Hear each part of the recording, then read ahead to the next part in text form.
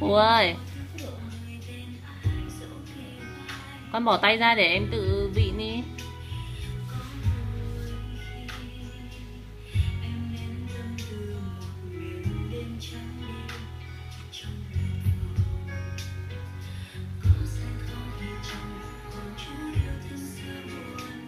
Phú ơi.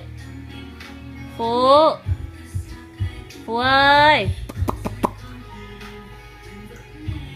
Phượng ơi quay ra đây để em ra này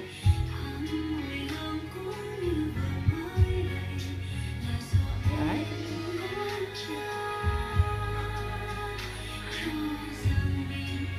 Ơi